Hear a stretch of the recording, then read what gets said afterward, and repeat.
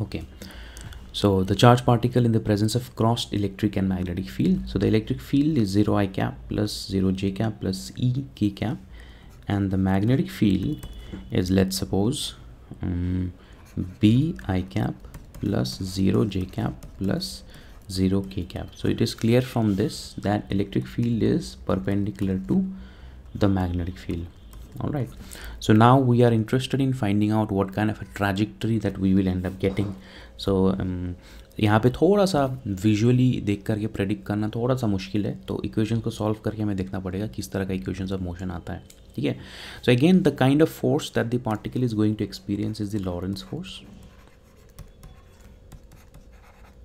so Lorentz force में क्या होता है? The force experience by the charge particle is Q E plus V cross b. Okay if we apply the newton's second law here then the acceleration that is experienced by the charge particle having mass m and charge q is given by this equation. All right so in that kind of a situation what we can do is we can uh, use uh, the uh, vector expressions of the electric field magnetic field vagera and then we can also propose first of all कि velocity कौन से plane में होगा? Can we make any kind of a restriction on the velocity अगर electric field Z axis में है और magnetic field x axis में है, क्या ये मोशन थ्री स्पेस में होगा या किसी प्लेन में रेस्ट्रिक्टेड होगा? क्या ये कह सकते हैं?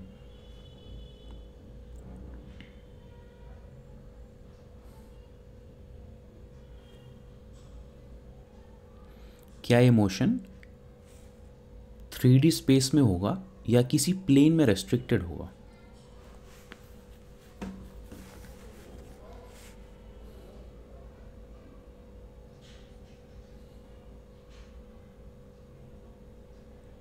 कैन यू गेस कि ये जो मोशन है, वो थ्री स्पेस में होगा या स्पायरल मोशन होगा तो एक्जेड प्लेन में वाई जेड प्लेन में आपने बताया था, है ना? या फिर क्या वो is it going to be uh, restricted to a plane. Let's suppose xz plane या xy plane या yz plane.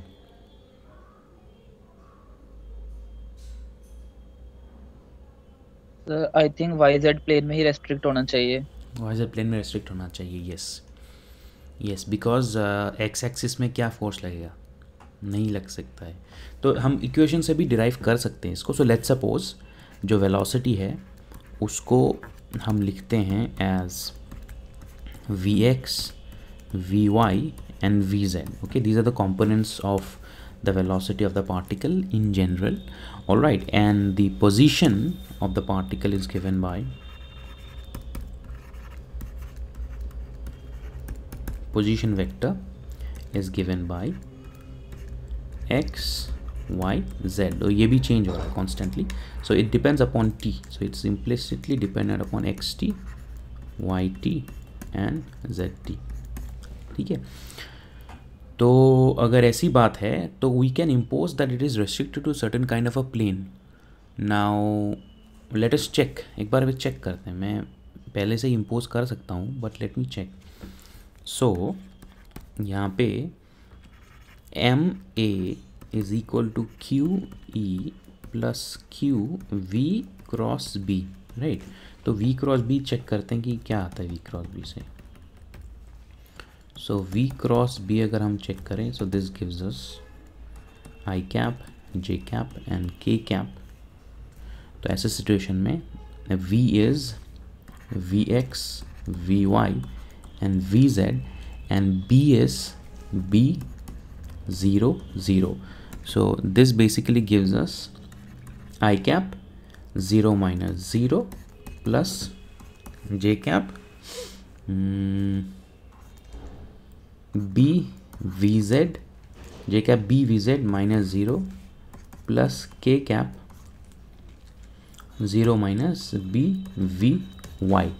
So this is equal to 0 i cap plus b v z j cap minus B V Y K cap okay so इसको अगर हम detail में लिखते हैं तो mass times A X I cap plus A Y J cap plus A Z K cap is equal to Q E क्या है? E is in the K axis okay so ये क्यू ई के cap आ जाएगा यहाँ पे. ठीक है? Plus zero I cap plus B Z J cap minus b vy k cap so as you can see here there is no force component along the x axis ठीक है अगर इसको मैं डिटेल में लिखूँ तो this is this is zero I cap plus B V Z J cap plus Q E minus B V Y K cap okay so there is no acceleration along the x-axis the acceleration along the x-axis is uh, zero so अगर मैं तीनों equations को separately लिखूँ so m a x is equal to zero m a y is equal to b v z and m a z is equal to q e minus b v y so the meaning of this is that it simply means that no acceleration along x-axis at any point okay? So if there is no acceleration along the x-axis that simply means that the motion will be restricted in the yz plane है motion should be restricted in the yz plane because there is no acceleration in the x-axis. So motion should be restricted to y, z plane only, since there is no acceleration along the x axis ठीक है? अभी हमारे पास दो equation आ गई ये। And from these equations we have to find out what is the nature of the trajectory तो एक कंक्लूजन तो ये हो गया that motion is restricted to the Y Z plane ठीक है? That is one conclusion now let us find out जो भी मोशन होगा वाई जेड प्लेन में, वो कौन सा टाइप के मोशन होगा? ठीक है?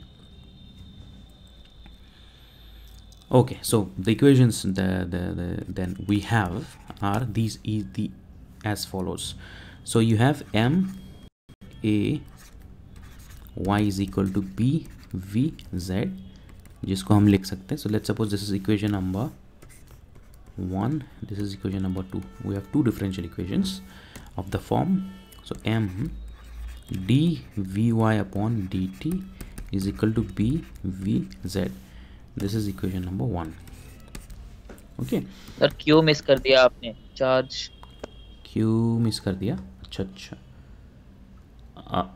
Okay okay okay sorry so यहाँ पे आपका v क्रॉस बी क्यू है ना? तो v क्रॉस बी क्यू है तो यहाँ पे आ जाएगा. ये आ जाएगी. ठीक है thank you so Q V B Z है ना? Q B V Z and this is minus Q ठीक है ना? यहाँ पे आ जाएगा।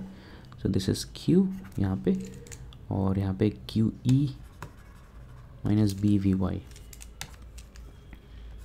E minus B V Y Q यहाँ पे क्यू आ जाएगा। अभी ठीक है ना? So yes sir here there is going to be a q and here also there is going to be a q. Okay. So this is q b v z. So this is q b v z. Okay. So this is m d v y upon m d v y upon dt is equal to q b v z. So this is one equation that we have. And the other is m a z is equal to q e minus b vy so which is nothing but m dvz upon dt is equal to q e minus b v y ठीक है so what I can do is I can either solve both of these two first order differential equations simultaneously or I can combine them to create a second order differential equation so if I combine them to create a second order differential equation then I just have to solve one equation तो ठीक है? तो इसके लिए हम क्या करते हैं? इसके लिए हम फ़र्स्ट इक्वेशन को देखते हैं। फ़र्स्ट इक्वेशन में लिखा है V Z is equal to M upon Q B D V Y upon D T इसको अगर हम डिफरेंशिएट करते हैं once differentiate once with respect to time, then I end up getting d vz upon D T is equal to M upon Q B D two V Y upon D T two ठीक है D V Z upon D T is equal to M upon Q B D two V Y upon D T two so this is something that is a relationship for dvz which I can substitute here substituting in above अगर इसको यहाँ पे substitute करेंगे D V Z upon D T then we will get यहाँ पे अगर हम M को लिख सकते हैं क्यू अपॉन एम ओके तो यहाँ पे आ जाएगा M upon Q B D two V Y upon dt2 is equal to q e upon m minus q b upon m vy all right so, इसको थोड़ा सा डिटेल में इसको राइट हैंड साइड में लेके जाते हैं। D two V Y upon D T two is equal to Q B upon M multiplied by Q E upon M minus Q B upon M multiplied by Q B upon M V Y और D two V Y upon D T two is equal to Q upon M whole square EB है ना minus QB upon M whole square Vy. So this becomes a second order differential equation of the form D2 Vy upon DT2 plus QB upon M whole square Vy is equal to Q upon M whole square capital E and B because electric field and magnetic field are constant so I am writing it here in the right hand side. So this is your differential equation. Instead of solving two first order differential equations simultaneously now you only need to solve one second order differential equation yes? So this is d2 vy upon dt2 plus qb upon m whole square vy is equal to q upon m whole square eb so this is nothing but a non-homogeneous differential equation constant coefficients okay non-homogeneous ordinary differential equation with constant coefficients now इसको इसको solve करने का approach क्या follow करते हैं हम इस तरह के डिफरेंशियल इक्वेशंस को सॉल्व करने का क्या अप्रोच होता है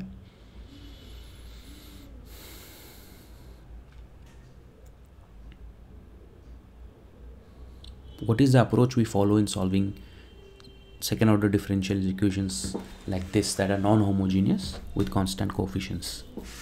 क्या अप्रोच होता है बेटा? याद है? फ़र्स्ट ईयर में पढ़ा था आपने?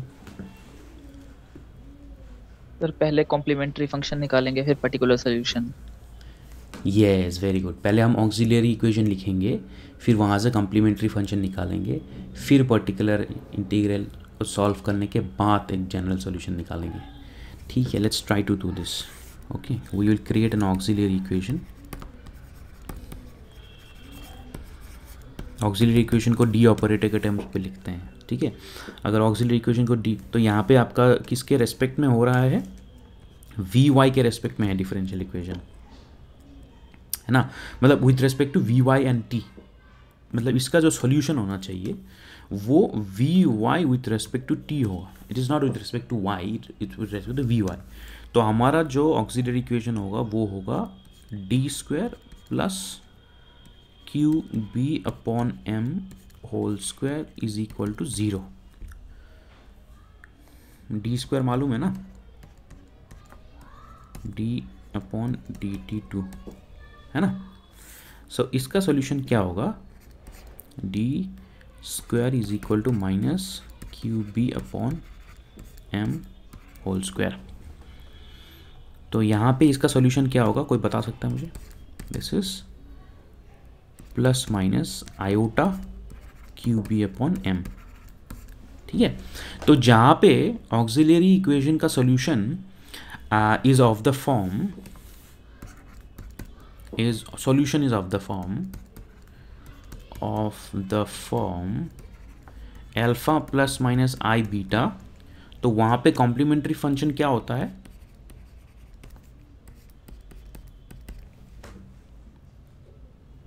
याद है? अगर आपका जो है ऑक्सिलरी इक्वेशन का solution is of the form alpha plus minus I beta complementary function का सोल्यूशन हाँ। E की power alpha into A cos beta plus में B sine beta e to the power alpha X अगर x is the solution a cos beta x beta plus b plus sine beta X है ना? यहाँ पे x is nothing but V Y है ना? And alpha is equal to zero है ना? So in our problem the complementary function is e to the power 0 a cos beta is nothing but qb upon m x is nothing but vy. Sorry it's not with uh, vy it's t. X is t here. Uh, this is t plus b sine qb upon m t. Okay. So therefore the your complementary function simply becomes a cos qb upon mt plus b sine qb upon m t. Okay let's suppose this is point number 3 this is fine.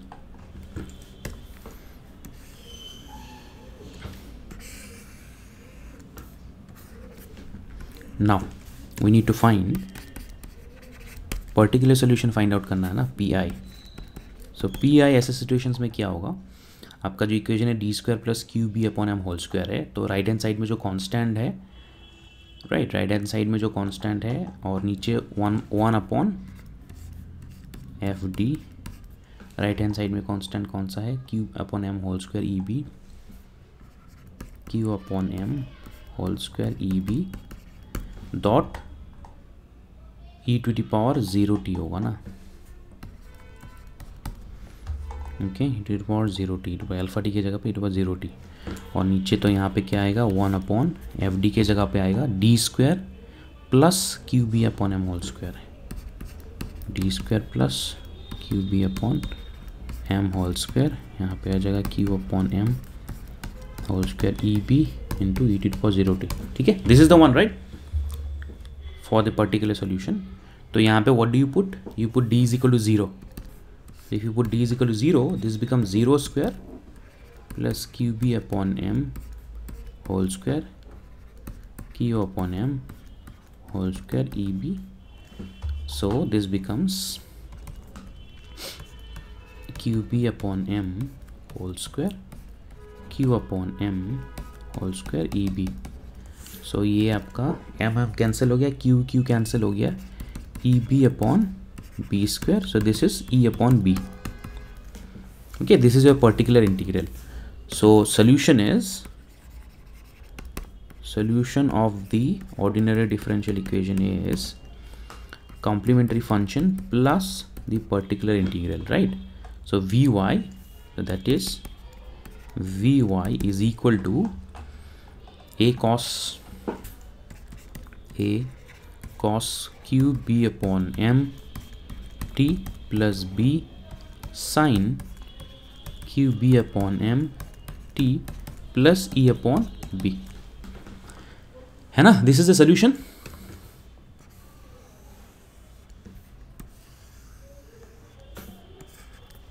yes no Yes, sir. Yes sir हाँ आपने आपने note down कर लिया ये सारा? Have you noted it down do I need to wait Yes, sir. okay so now what will we do we need to find out uh, the various constants a and b okay and for that we will use initial conditions so let's suppose uh, that the particle मैंने क्या कहा था that initially the particle was at rest तो इसकी position zero है और इसकी velocity भी ज़ीरो है initially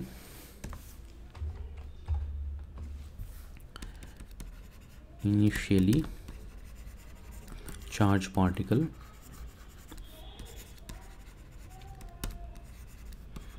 was at rest. So that means um, all the quantities are zero at time T is equal to zero तो ये differential equation जो आया था हमारे लॉरेंस फोर्स लॉ से उनको सॉल्व करने के बाद हमें मिला ये कुछ जनरल सोल्यूशन इससे ट्रेजेक्ट्री क्या है पता लगाने के लिए we need to use initial conditions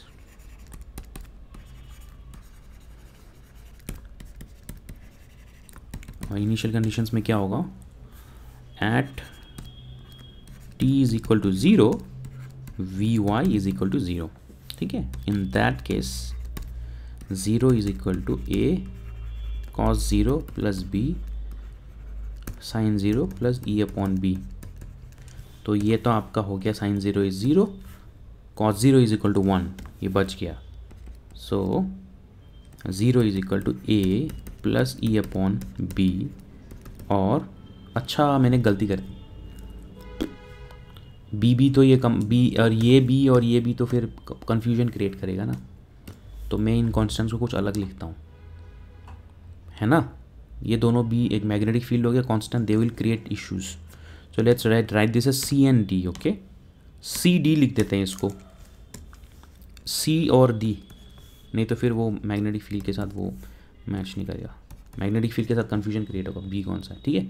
So I am changing the constant to C and D so C and D अगर हो गया तो ये आपका हो गया C and D okay C and D okay so C D are undetermined undetermined constants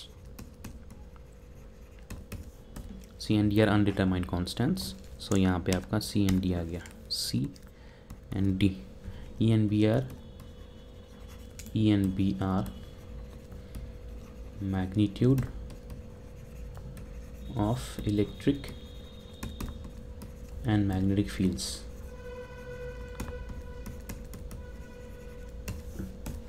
so so, this is c. So or c is equal to minus e upon b. ठीक है? C is equal to minus E upon B तो एक तो हमने निकाल लिया यहाँ पे।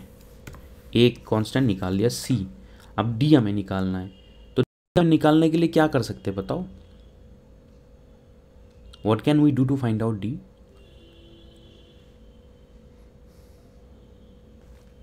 hmm?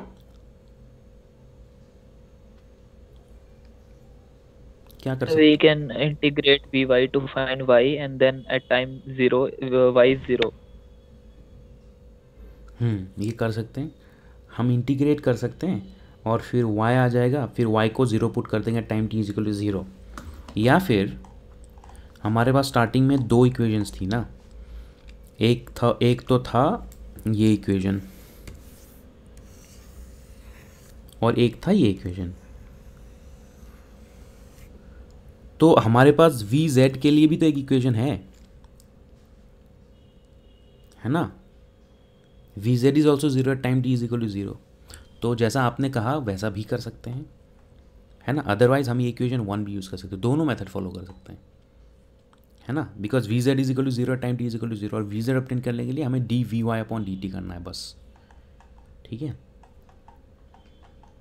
So we can either integrate this number one use equation one equation one tells us that V Z और वी वाई का रिलेशनशिप देता है ना? V Z is equal to M upon Q B V Z is equal to M upon Q B D V Y upon D T ये कर सकते हैं? Doing a derivative we can find out V Z है ना? Yes sir तो ये करके देखते हैं। इंटीग्रेशन आप करके देख सकते हो। Are you doing it side by side तो what you can do is you can do the integration and I do the differentiation and then we can compare कि दोनों की वैल्यूज़ सेम है कि नहीं सेम ही आना चाहिए। so let us do the integration then sorry differentiation Q B so D V Y upon D T is equal to D by D T side में आप लिख दो C cos Q B upon M T plus D sine Q B upon M T Plus E upon P okay तो इसको differentiate करके देखते हैं। M upon Q B differentiate करने से क्या आ जाएगा यहाँ पे? C Q B upon M minus sine Q B upon M ठीक plus D Q B upon M cos Q B upon M t plus 0 okay? So at time t is equal to 0 vz is also equal to 0 so we have 0 is equal to m upon qb minus c qb upon m sine 0 plus d qb upon m cos 0 okay? So ये तो sine zero to ये zero ही हो गया। And we are left with D D Q B upon M cos zero is equal to zero. इसका conclusion क्या है? That D is also equal to zero because cos zero is not a zero it's one so D is also equal to zero. This is ये these are your two constants right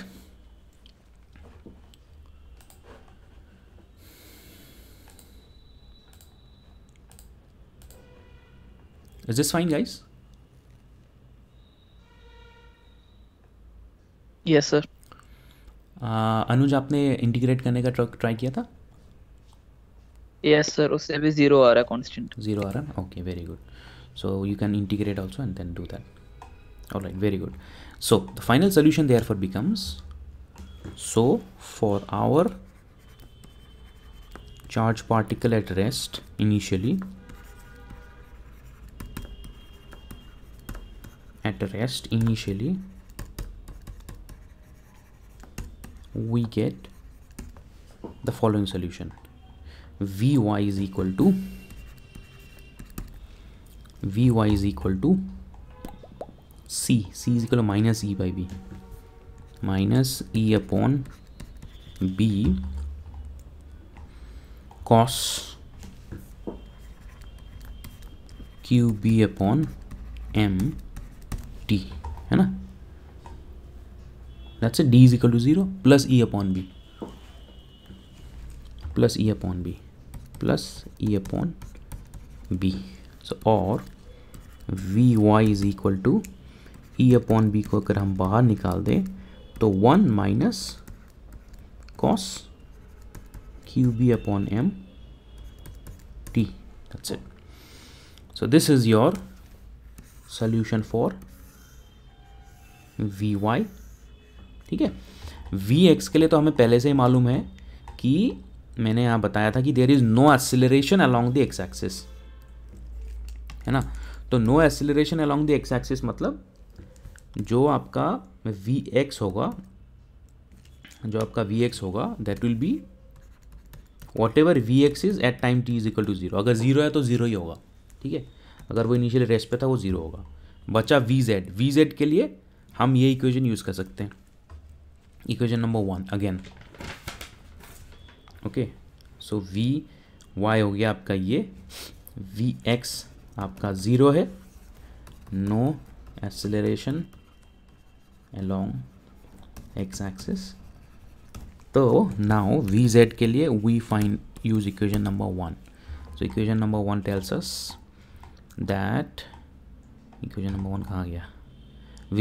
M upon Q B D V Y upon D T okay so vz is equal to m upon qb dvy upon dt so let's go vz is equal to m upon qb dvy upon dt हो गया आपका e upon b zero minus by D T of sine is cos cos is minus sine plus sine तो ये बाहर आ जाएगा। Q B upon M sine Q B upon M T ठीक है? So V Z is equal to M upon Q B into E upon B into Q B upon upon m Q B upon M T. So यहाँ पे आपका cancel हो गया। B B Q Q cancel हो गया। M M cancel हो गया। बच गया आपका ई अपॉन बी और V Z is equal to E upon B sine Q B upon M T ठीक है this is the V Z this is V Z and V X is equal to zero ठीक है? These are the solutions for the velocities are you following guys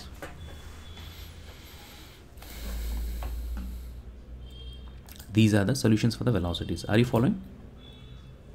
Yes sir.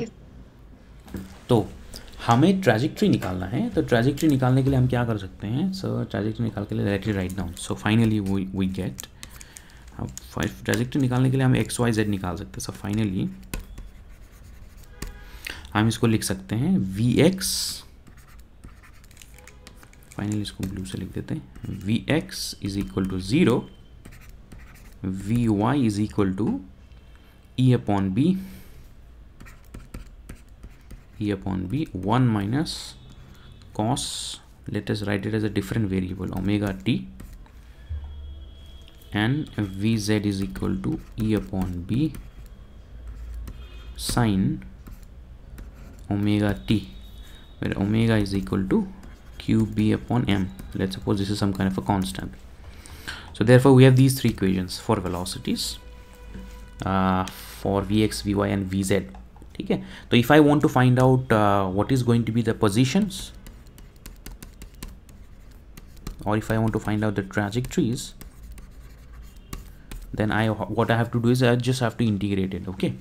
So if i integrate it then quite simply put uh, dx upon dt so let's suppose this is 4 equation 4 this is 5 this is equation number 6 so from equation number 4 you get dx upon dt is equal to 0 or x is equal to 0 if at t is equal to 0 particle was at was at origin जिसको हम मान के चल रहे हैं origin पे था X is equal to 0 now from fifth point what we can find? That dvy upon dt is equal to e upon b 1 minus cos omega t or dvy is equal to e upon b 1 minus cos omega t dt. Okay uh, so it goes from 0 to t and it goes from 0 to y. Okay. So, this is what? No sorry D V Y थोड़ी ना होगा. ये तो D Y है ना? We Y है तो D Y this is D Y sorry this is D Y so this is Y is equal to क्या होगा? E minus B integration of one कितना होता है? T minus one upon omega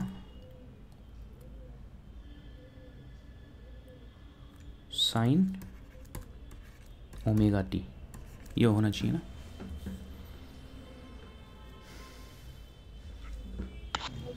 Yes sir. और y is equal to E upon omega B ये होना चाहिए omega T minus sine omega T ठीक है? सो फाइनली आपका जो आंसर हो गया y इज़ इक्वल टू इसको हम ऐसे लिख देते हैं।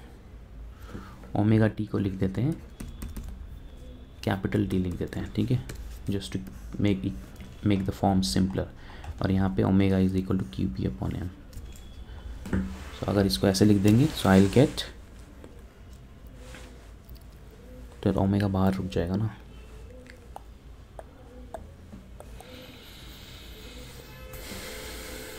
That is also define e upon omega b is equal to some constant a.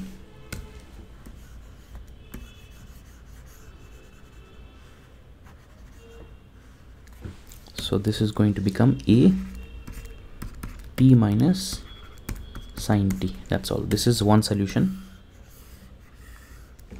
All right. This is of course another solution. And third solution will come from point number six. Point number six so which is vz is equal to e by b sine omega t. So vz is equal to e by b sine omega t. Vz is nothing but dz upon dt dz upon dt so or dz is equal to e upon b sine omega t integrating from 0 to t and from 0 to z.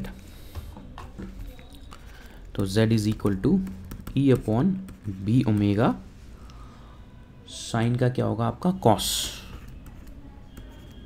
minus cos T minus zero sine zero is equal to zero. Oh sorry तो यहाँ पे हो जाएगा आपका। Minus cos आ जाएगा, zero to T okay so this is going to be z is equal to minus e upon b omega cos omega t minus cos 0 or z is equal to e upon b omega 1 minus cos omega t. So which is nothing but a which is a constant a that I just now defined 1 minus cos capital T. So finally z is equal to a 1 minus cos capital T. This is these are your solutions okay so finally we have obtained a trajectory. X is equal to 0 xt is equal to 0 yt is equal to uh, yt is equal to a. T minus sine t okay? T is a function of small t. And zt is equal to a 1 minus cos capital T all right so so these are the equations. And uh, these are the equations corresponding to what? Anybody familiar with it? X y z. Anybody familiar with this? So it will give uh, a circle of constant radius moving in plus positive y direction. Semicircle. Semicircle semicircle अच्छा you are talking about how a wheel travels along a line point in a wheel as the wheel is rolling down this thing so अगर आपके पास एक surface है तो अगर आपके पास एक wheel है और वो व्हील जो है ऐसे रोल करते जा रही है आज यहाँ पे कल वहाँ पे परसों वहाँ पे तो ये जो पॉइंट है वो यहाँ पे था तो यहाँ पहुँचते पहुँचते वो यहाँ हो जाएगा। थोड़ी देर बाद जो है वो यहाँ आ जाएगा और फिर दोबारा यहाँ तक पहुँच जाएगा। सो इस तरह का आप कह रहे हो कि इस तरह का ग्राफ होना चाहिए ना? ये कह रहे हो आप? यस सर यस सर हाँ। So this is known as this kind of a curve जब लेट सपोज़ अगर कोई व्हील है उस व्हील पे मैं एक पर्टिकुलर पॉइंट को पेंट कर देता हूँ और जैसे वो व्हील रोटेट करती जा रही है, जैसे जैसे वो व्हील रोटेट करती जा रही है, वो पर्टिकुलर पॉइंट जिसको मैंने पेंट किया था, उसकी ट्राजेक्ट्री क्या होगी? तो उसको क्या कहते हैं? उसको बोलते cycloid okay that kind of a trajectory is on a cycloid so what you will actually end up getting is the cycloid trajectory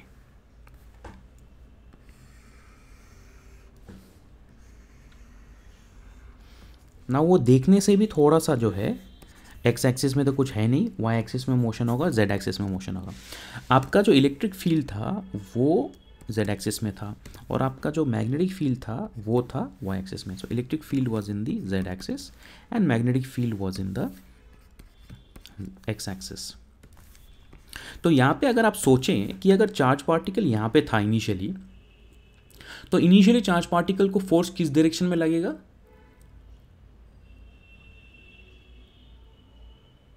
In the initially Z axis में लगेगा। तो वो इस डायरेक्शन में एक्सिलरेट होगा है ना? है ना? इस डायरेक्शन में एक्सिलरेट होगा इनिशियली Yes, sir. तो अगर इस इस डायरेक्शन में इनिशियली एसिलेट होगा तो मैग्नेटिक फोर्स की वजह मैग्नेटिक फ़ील्ड की वजह से फोर्स किस डायरेक्शन में लगेगा? In the Y axis in the Y axis इस डायरेक्शन में फोर्स लगेगा। तो मैग्नेटिक फोर्स की वजह से जो पार्टिकल के ऊपर क्या असर होता है, उसकी मैग्नेटिक वेलोसिटी चेंज नहीं होती, लेकिन उसका डायरेक्शन चेंज हो जाएगा। तो पार्टिकल जो है इस डायरेक्शन में जाएगा, है ना? तो थोड़ी देर बाद जब पार्टिकल यहाँ पहुँच जाता है, इस पर्टिकुलर पॉइंट पे मैग्नेटिक फ़ील्ड की डायरेक्शन किस तरफ़ होगी?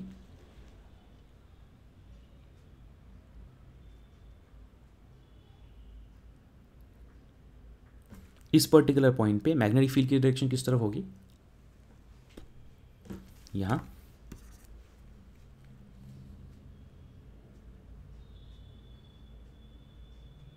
The magnetic field is out of the page, so force is downwards. Force is downwards मतलब force is in the negative Z axis yes तो ये आपका ट्रेजेक्टरी Yes. हो जाएगा ऐसे हो जाएगा। ठीक है? अब यहाँ पे क्या होता है कि जब पार्टिकल इस तरफ़ आना शुरू कर देता है तो एक्सेलरेशन की डायरेक्शन तो थी इस तरफ़। Particle is now moving in this direction तो धीरे धीरे पार्टिकल को क्या है? डीसेलरेट करना शुरू कर देता है।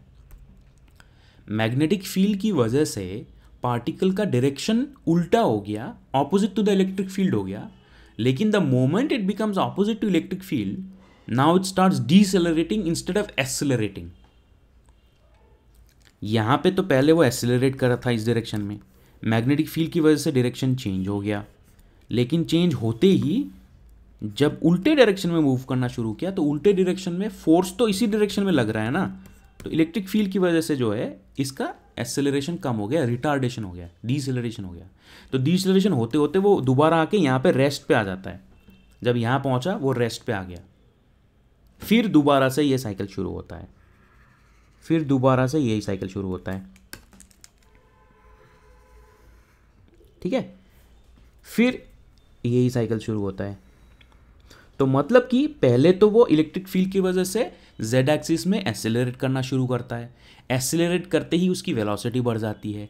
वेलोसिटी आते ही मैग्नेटिक फ़ील्ड की वजह से उसका डायरेक्शन चेंज होता है। और डायरेक्शन चेंज होते ही वो एक सर्कुलर ट्रैजेक्टरी में मूव करता है। लेकिन जैसे जैसे सर्कुलर ट्रैजेक्टरी मूव करता है तो थोड़ी देर बाद वो नेगेटिव जेड एक्सिस में मूव करना शुरू करता है। और जब नेगेटिव जेड एक्सिस में मूव करना शुरू करता है इलेक्ट्रिक फ़ील्ड का जो force Z X positive Z axis में है तो वो उस वेलोसिटी को डीसेलरेट करने की कोशिश करता है। तो डीसेलरेट करते करते जब तक वो वाई एक्सिस में पहुँचता है, वो रेस्ट में आ जाता है। ठीक है? यहाँ पहुँचते पहुँचते रेस्ट में आ जाता है। फिर दोबारा से वही शुरू होता है। इलेक्ट्रिक फ़ील्ड की वजह से वो इधर एक्सेलरेट करेगा मैग्नेटिक फ़ील्ड की वजह से उसके ट्रेजेक्ट्री चेंज होगी और यहाँ पे वो फिर उसकी डायरेक्शन चेंज होगी, लेकिन इलेक्ट्रिक फ़ील्ड इस तरफ़ है तो उसका जो है रिटार्डेशन होता है, फिर आके फिर यहाँ पे रेस्ट पे पहुँच जाता है, फिर दोबारा से वही चीज़ शुरू होता है। And this continues on and on and what you and you getting is the motion of a cycloid not the motion of a semi circle this is not semi circle because यहाँ पे सिर्फ़ magnetic field ही नहीं है, दोनों electric field और magnetic field है ना? तो therefore you end up getting this kind of a cycloid trajectory okay so what you end up getting is a cycloid are you understanding that looks something like this it's not a semicircle okay it's just cycle it's not a cycloid the equations are given by this have you understood beta Yes, sir. Yes, sir. All right ये derivation आपने note down कर लिया है Yes, sir. ठीक है all right ठीक है तो यहीं पे with this particular so this is how charge particle behaves in the presence of a crossed electric and magnetic field exam में एग्जैक्टली exactly ये क्वेश्चन नहीं आ सकता है, थोड़ा बहुत जो है इसमें चेंजेस हो सकते हैं।